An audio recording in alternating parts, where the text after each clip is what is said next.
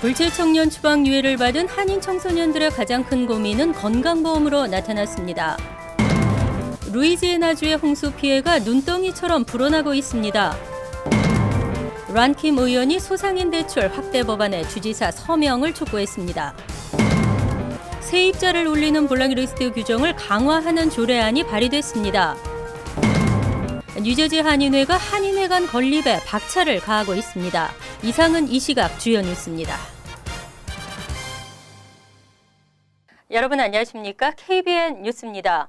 오바마 행정부의 청소년 추방유예 행정 명령이 시행된 지 4년이 지나고 있습니다. 하지만 이 혜택을 받고도 여전히 청소년들은 이 땅에서 불안하게 살고 있습니다. 그들에게 진정 필요한 것은 해결되지 않고 있습니다.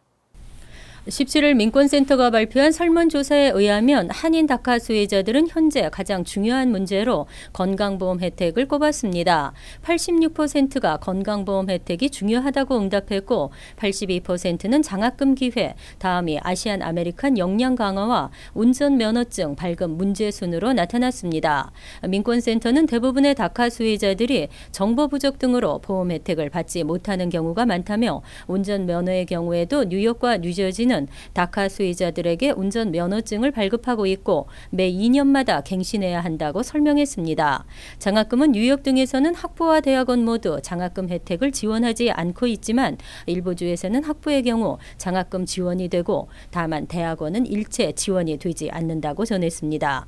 하지만 다카 수의자들은 대학원을 졸업한다 해도 뉴욕을 제외한 일부 주에서는 직업에 필요한 자격증을 발급해 주지 않고 있기 때문에 졸업 후 진로에 어려움 어려움을 느끼고 있는 것으로 파악됐습니다. 한편 이번 설문조사에서 이민 정책과 안정적인 신분 획득이 가장 중요한 것으로 나타났습니다. 동부가 폭염으로 몸살을 앓고 있는 가운데 남쪽에서는 가장 혹독한 홍수 사태를 맞고 있고 서부 지역은 불타오르고 있습니다. 루이지애나주를 강타한 폭우는 10명이 넘는 사망자를 내고도 안심할 수 없는 상태입니다. 루이지애나주 홍수 피해가 눈덩이처럼 불어나고 있습니다. 현재 실종자 수가 정확히 파악되지 않은 가운데 구조팀이 수색을 계속하고 있습니다. 지난 12일부터 이틀간 609mm가 넘는 폭우가 쏟아지면서 인근 강이 범람해 루이지애나주 남부 일대의 많은 주택과 사업장이 침수됐습니다. 4만 채의 가옥이 파손되고 3만 명이 넘는 이재민이 발생했습니다. 비가 그친 뒤에 일부 지역에선 피해 복구가 시작됐지만 강 하류 지역에는 홍수 가능성이 여전히 있어 긴장의 끈을 늦출 수 없는 상태입니다. 가장 큰 피해를 본 곳은 베턴루지 동부에 있는 루윙스턴 페리시로 이 지역은 지난 사흘간 635mm의 폭우가 쏟아지면서 전체 가옥의 75%가 완전히 파괴됐습니다. 재난 지역으로 선포된 parish는 15일 4개에서 현재 20개로 늘어났습니다. 제이슨 아드 리빙스턴 parish 경찰국장은 지금까지 카트리나, 리타, 아이작 등 숱한 허리케인 피해를 겪었지만 이번 홍수 사태는 지금까지 경험한 피해 중 가장 혹독하다고 말했습니다.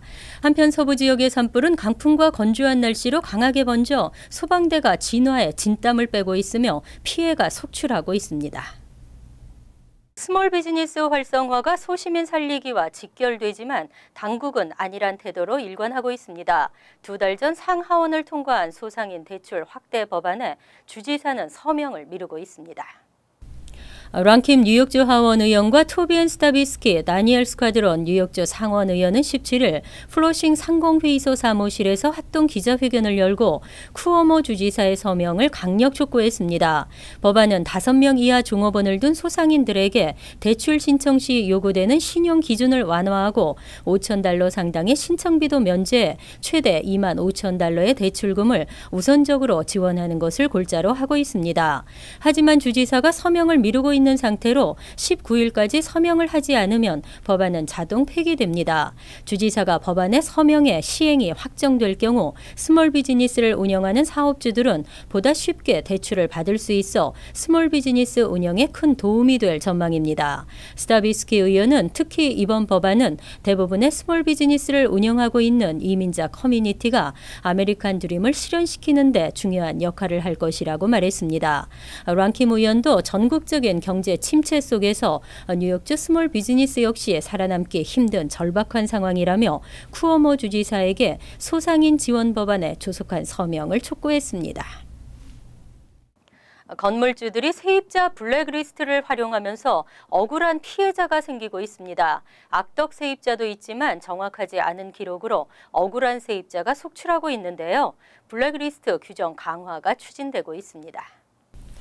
벤자민 칼로스 시 의원은 16일 시의회 소비자 보호위원회에 세입자 블랙리스트 규정 강화 조례안을 발의했습니다. 뉴욕타임즈는 17일 저소득층 아파트 임대 기회가 부여돼 있지만 과거 건물주가 제기한 소송 기록이 드러나 아파트 입주가 불허된 한 시민의 사례를 소개했습니다. 세입자 블랙리스트는 17년 전쯤부터 활용되기 시작한 것으로 알려졌습니다. 주택법원은 소송 기록을 검사업체에 팔고 업체들은 이 기록을 토대로 세입자들의 명단을 만들어 왔습니다. 문제는 이 데이터베이스에는 소송에 관한 구체적인 설명 없이 세입자의 이름만 있습니다. 때문에 고장 등의 수리를 해주지 않아 세입자가 렌트를 의도적으로 체납했어도 건물주가 주택법원에 소송을 제기하면 무조건 블랙리스트에 이름이 올라가게 돼 있는 시스템입니다. 오히려 건물주의 잘못으로 인해 소송에 휘말린 세입자들이 피해를 보고 있다는 지적입니다. 갈로스 의원은 단순히 주택법원 소송에 연 연루됐다는 이유만으로 아파트 입주가 거부돼서는 안 된다고 강조했습니다. 뉴저지 한인회가 본격적인 회관 마련을 위한 준비에 들어갔습니다. 그동안 모은 기금 5천 달러를 바탕으로 기금 모금을 통해 한인들의 보금자리를 마련하겠다는 계획입니다. 뉴저지 한인회관 건립위원회는 추석맞이 대잔치와 골프대회, 한인회관 건립 후원의 밤 등을 통해 모은 수익금 중 일부인 5천 달러를 전달받고 앞으로 대대적인 한인회관 건립을 위한 모금 활동을 전개해 나가기로 했습니다. 한인회관 부지로는 펠리세이스팍 인근 타운인 릿지필드나 레오니아, 잉글우드 등을 염두에 두고 있는 것으로 알려졌습니다. 하지만 펠팍은 이미 많은 건물이 들어서 있어 과밀 상태라 마땅한 장소가 없어 부지 부지 선정이 어려운 상황입니다. 접근성이 편리한 인근타운의 장소를 물색 중이라는 게 위원회 측의 설명입니다. 위원회는 한인회관 건립에 총 5천만 달러가 소요될 것으로 추산하고 있으며 건립 비용 중 일부는 한인사회 모금 활동을 통해 마련하고 나머지는 한국 정부와 미국 정부 측에 도움을 요청할 계획인 것으로 전해졌습니다. 건립이 심재길 위원장은 한인들을 위한 보금자리가 꼭 마련될 수 있도록 한인들이 힘을 모아주기 되길 기대한다고 밝혔습니다. 한편 한인회는 지난 11일 위원회 발족을 위한 모임을 갖고 위원장의 심재길 전 회장, 부위원장의 김경훈 전 회장을 각각 위촉했습니다. 초고속 영주권 취득의 길이라고 알려진 투자 이민에서도 최소 5년 이상을 기다려야 하는 등 적체가 심화되고 있습니다. 연방 이민국의 비효율적 업무 등이 원인으로 지적됐습니다. 이민서비스국이 최근 공개한 EB5 투자이민 프로그램 관련 서류 처리 현황에 따르면 지난 6월 30일 기준 투자이민 첫 단계인 투자이민 신청서 처리에 16.7개월, 조건부 영주권에서 정식 영주권 신청 처리 기간은 무려 21.3개월이 소요되는 것으로 나타났습니다. 정식 영주권을 신청할 경우 미국 내에서 영주권자 이상 신분의 인력을 최소 10명 이상 고용했다는 증명 등 일정 절차를 거쳐야 하는데 이 과정에 2년 가까이 소요되는 것입니다. 때문에 I-516 신청부터 임시 영주권 2년, 그후 I-829를 통한 정식 영주권 취득까지 최소 62개월, 즉 5년 이상의 대기 시간이 필요한 셈입니다. 이 같은 지연 처리는 USCIS의 비효율적인 서류 처리가 주요 원인으로 지적됐습니다. 내셔널 로 리뷰는 이에 대해 연방 이민국은 구조적으로 EB5 신청 시 필요한 각종 기업 관련 문서들을 처리할 수 있는 제도적 장치가 마련돼 있지 않다며 이민국이 최근 자동화 기계를 도입하고 투자이민 심사 담당 인력을 증강했지만 투자이민 서류 처리는 속도를 내지 못하고 있다고 꼬집었습니다. 뉴저지 에즈워러 아발론 아파트 화재 피해자들이 힘겨운 법정 싸움을 이어가고 있습니다. 보상에 합의한 절반을 제외한 나머지 피해자들은 충분하지 않은 보상 규모로 지루한 싸움을 계속해야 할 처지입니다. 뉴저지 에지워터 아발론 아파트 단지에서 대형 화재가 발생한 지 1년 7개월 정도가 지났습니다. 하지만 아파트의 관리 회사인 아발론 베이를 상대로 집단 소송을 제기한 천여 명은 아직도 회사 측과 합의를 이루지 못하고 있습니다. 한인을 비롯 천여 명의 이재민들은 이번 화재의 원인이 아발론 측에 고용한 직원들인 것으로 확인된 만큼 아발론이 재산 피해에 대한 보상을 해야 한다며 집단 소송에 나섰습니다. 이중 절반은 회사와 합의하고 보상 보 상금 청구 절차에 있는 것으로 알려졌지만 나머지 절반은 회사 측이 제시한 보상 규모가 충분하지 않다며 협상을 미루고 있습니다. 만약 법원이 회사가 제시한 초기 보상 제한을 인정할 경우 소송에 참가한 피해자들은 이를 받아들이거나 소송에서 빠질 것을 결정하게 되고 법원은 60일 이후 양측 간 협의 사항을 최종 결정하게 됩니다. 집단 소송에 참여하지 않기로 결정하면 뉴저지주 상급 법원까지 가야 하기 때문에 보상 절차 절차는 지연될 수 있는 것으로 알려졌습니다. 한편 이와 별도로 52개 가구는 개별적인 소송을 제기한 상태로 이들은 경제적 손실뿐 아니라 스트레스나 트라우마 같은 정신적 피해까지 모두 포함해서 보상을 해야 한다고 주장하고 있습니다.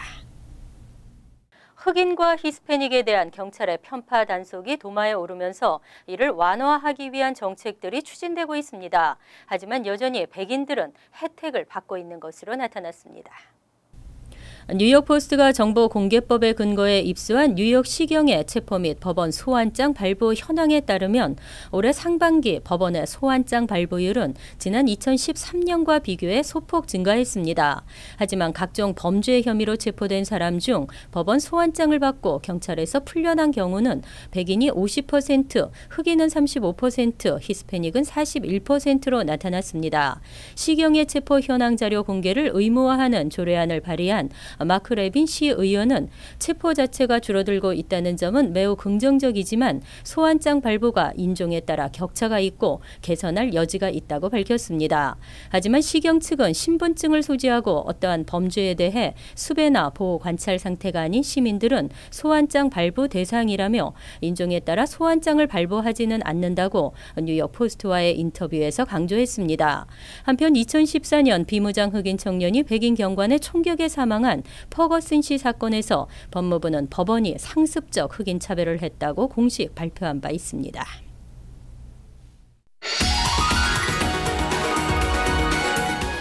이어서 LA 지역 한인사회 소식입니다. 이번 주말 한인타운을 비롯한 LA 일대의 교통법규 위반자와 음주 운전자들에 대한 대대적인 단속이 펼쳐질 예정입니다. 운전자들의 주의가 요구되고 있습니다. LAPD는 오는 19일 금요일 저녁 8시부터 다음 날인 20일 새벽 1시까지 LA 하린타운 유가와 벌먼트에 체크포인트를 설치하고 음주운전 단속을 실시하겠다고 밝혔습니다.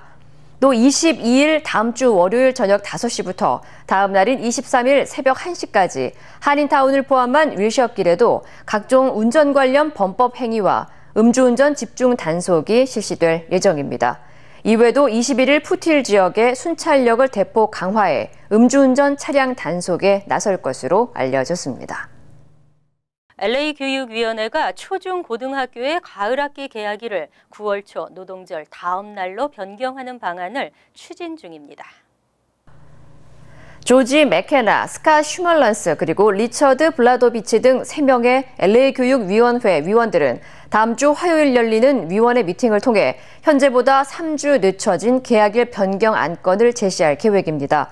특히 이번 변경안은 8월 말까지 이어지는 고온 날씨에 자녀의 야외 활동을 우려한 부모들의 불만이 접수되면서 이들 위원들이 안건으로 상정을 추진한 것입니다. 만약 이 변경안이 7명의 위원 중 과반수 이상 찬성으로 통과될 경우 내년도 가을 학기는 9월 첫째 주 화요일에 시작하게 될 전망입니다. 월드리포트입니다. 인공지능 로봇이 인간의 동반자로 진화하고 있습니다. 로봇이 발달하면서 각종 로봇들이 사람들과 대화하고 도움을 주기도 합니다. 중국 텐진에서 열린 세계 경제 포럼. 전통 의상을 곱게 차려입은 미녀 안내원이 관람객들의 시선을 사로잡습니다. 반듯한 이목구비와 단아한 표정의 이 안내원은 사실 인공지능 로봇입니다. 大家好，我是机器人佳佳，很高兴在达沃斯和大家见面。 이처럼 중국에선 빼어난 미모 덕에 로봇 여신으로 불리는 인공지능 로봇들이 속속 등장하고 있습니다. 지아지아와 이름이 같은 또 다른 로봇은 사람들과 간단한 대화도 나눕니다. 我想睡觉了，晚安。主人晚安，注意不要打呼噜影响别人哦。 지아지아를 개발한 연구진은 이제 로봇은 인간의 도구를 넘어 반려자가 될 것이라고 장담합니다. 미국에선 똑똑한 로봇 반려견이 등장했습니다. 미니 스팟으로 불리는 이 로봇계의 특기는 긴 목을 이용해 집안일을 돕는다는 것. 싱크대에서 컵을 집어 건조대에 올려두고 빈 캔은 휴지통에 버립니다. 주인에게 음료수를 건네주려다가 도로 빼앗는 장난을 치기도 합니다. 바나나 껍질을 밟아 미끄러져도 혼자 힘으로 다시 일어설 줄도 압니다. 미니 스팟을 비롯해 미국에서 선보인 로봇 개들은 생김새나 행동이 진짜 개와 너무 비슷해 진짜 개가 동족으로 착각하는 일까지 벌어집니다.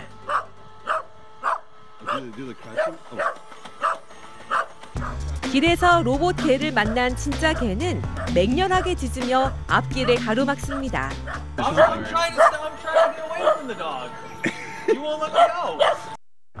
결국 로봇 개가 몸을 엎드려 항복을 선언한 뒤에야 소동이 마무리됩니다.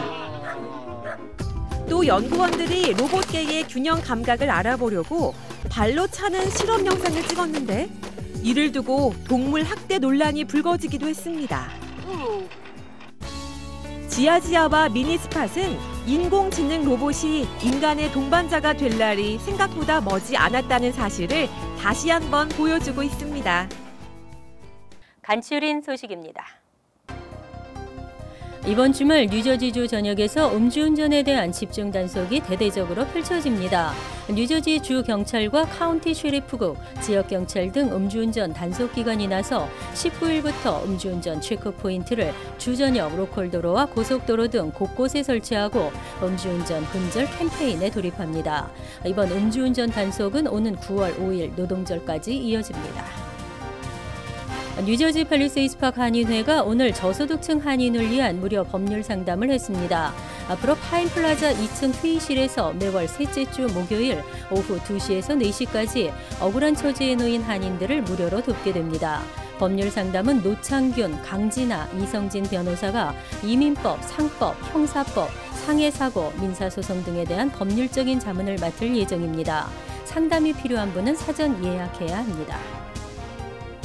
버지니아주 조지 메이슨대 한인 교수가 학교를 상대로 고용차별 금지법과 장애인법에 대한 차별 소송을 제기했습니다. 정모 교수는 상사의 인종 및 장애인 차별과 적대적인 작업 환경 등에 대해 수차례 시정을 요구했지만 받아들여지지 않았고 이로 인해 2010년 뇌수막염과 뇌염으로 병원 치료를 받았습니다. 하지만 계속되는 스트레스에 2014년 외상후 스트레스 장애 진단까지 받았다고 주장했습니다. 플로싱에서 연이어 강도 사건과 주택 침입 절도가 발생해 경찰이 용의자 공개 수배에 나섰습니다. 20, 30대 흑인으로 추정되는 용의자 두 명은 지난 12일 오전 38세 여성에게 접근해 지갑을 훔쳐 달아났으며 지난 5월에는 호레이스 하딩 익스프레스웨이가 만나는 곳에 있는 한 주택에 뒷문으로 침입했고 6월에는 150 스트리트와 부스 메모리얼 에비뉴에 있는 한 주택에 침입해 컴퓨터와 아이폰을 훔쳐 달아났습니다. 환율과 증권 소식입니다.